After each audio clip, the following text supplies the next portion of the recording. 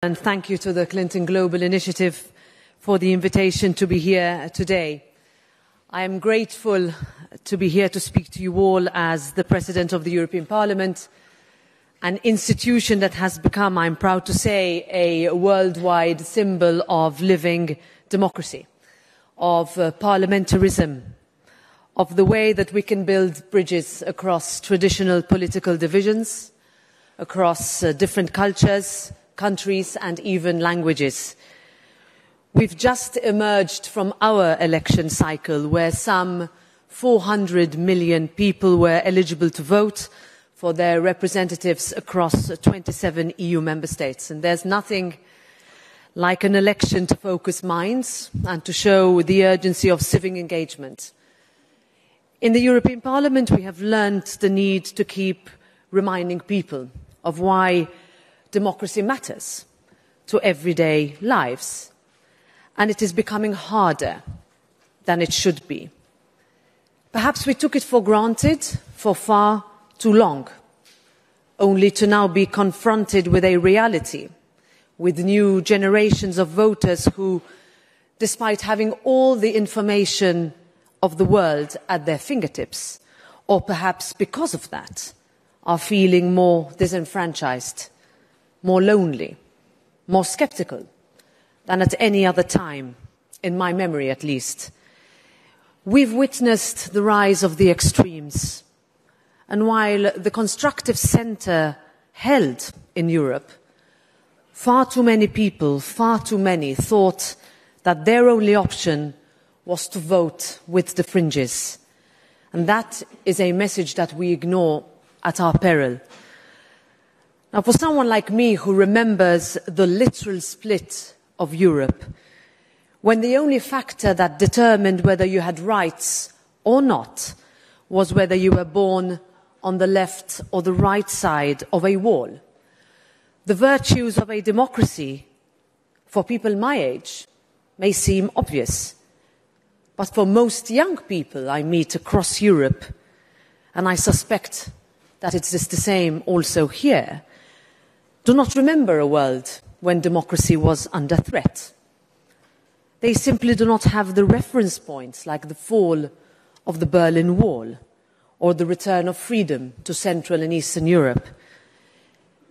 It is not enough anymore to just expect people to understand the value of democracy if we do not remind them of its value to their lives every day. Democracy must be able to provide prosperity, and security. It must ensure dignity. It must ensure rights. It must guarantee that people have the chance to fulfill their potential. It must be visible and they must feel it. It must be tangible. And that is our job as politicians, as activists and organizers, as leaders. We must do much better at getting the process closer to people. Democracy needs to be our answer to those people who feel abandoned, who feel squeezed out of the economic middle. It must be our answer to those who feel helpless and hopeless, to those who feel the world has gone on without them, or who have seen the fabric of their communities change too fast. Now, democracy cannot be simply an academic process everyone must feel involved. Otherwise, we will simply watch in bewilderment as we risk losing a generation to the false safety net of populism, to the easy answers to impossible questions that dominate the TikTok politics we see too much of, or to the struggling and shrugging disillusionment of not voting at all.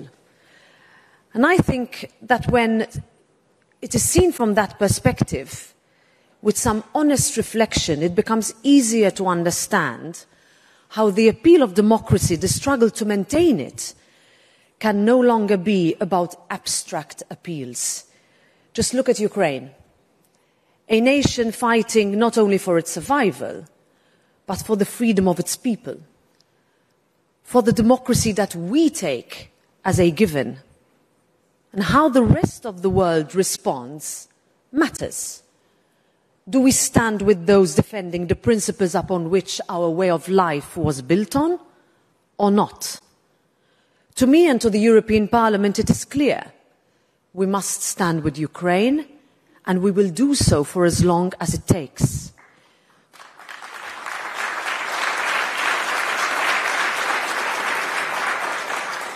Because that is what is fundamentally in our best interest. Because our way of life deserves it. And because our rhetoric must be matched with our action.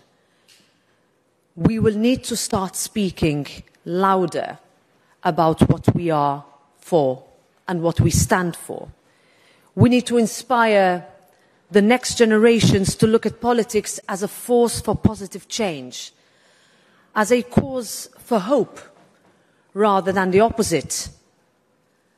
I started my political career about two decades ago as a younger woman with no backing, no funding, no network, with more doors slammed in my face than were opened. But what I did have was a great deal of optimism, of belief. And that is what still drives me today. I think we could use a little bit more of that sense of hope in our politics today, of pragmatism, of a better understanding of what makes people frustrated with our systems, and understandably so of filling the gap between what they expect and what we can deliver, of explaining honestly, of celebrating our successes, but admitting the failings of our ways too, of pushing back against the polarization and entrenchment that we see too much of, and of rediscovering the benefits of political compromises that we see too little of. Perhaps it is time to reclaim the strong political centre as the backbone of a reimagined third way that this generation is calling out for, to underline the need to support the modernisers, the innovators, the risk takers, rather than those who seek to undermine and destroy. It takes leaders, it takes politicians, but it also takes you, community leaders, the business communities, local grassroots groups, and activists to lead the shift away from the comfort of easy cynicism towards looking at politics as a force for positive change, to beat back against complacency. This will require patience, it will require leadership, but I'm confident that we will get there. Thank you.